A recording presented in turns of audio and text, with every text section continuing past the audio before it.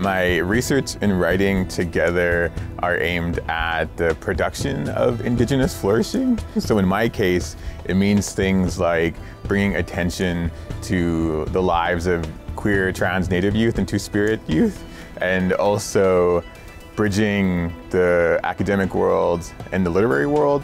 My writing bridges the theoretical and the autobiographical. So how in that fusion can I communicate pretty complex theoretical ideas to those who would never sort of pick up an academic monograph.